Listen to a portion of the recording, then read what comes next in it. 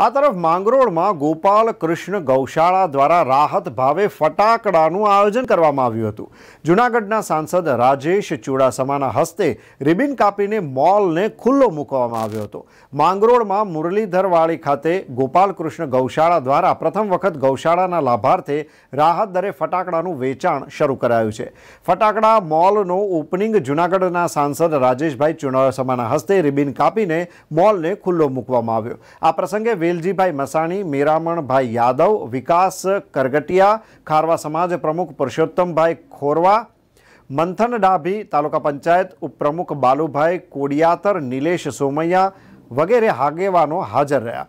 માંગરોળમાં પ્રથમ વખત ગોપાલ કૃષ્ણ ગૌશાળાના લાભાર્થે રાહતના ભાવે ફટાકડાનું વેચાણનું આયોજન કરવામાં આવ્યું અને લોકોને વ્યાજબી ભાવે દિવાળીના તહેવારમાં પરવડે તેવા ભાવમાં અવનવી વેરાયટીનો મોલ ખુલ્લો મુકાતા મોટી સંખ્યામાં લોકો ઉમટી પડ્યા હતા.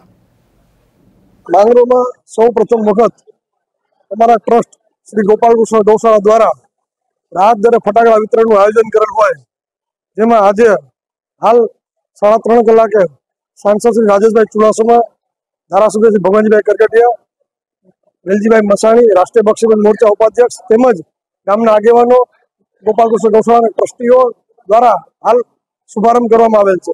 તેમજ શુભારંભ થયાના ટૂંક સમયમાં જ પબ્લિક ખૂબ મોટી સંખ્યામાં આવી રહી છે અને આ રાહત દરે ફટાકડા વિતરણનો લાભ લઈ રહેલ છે.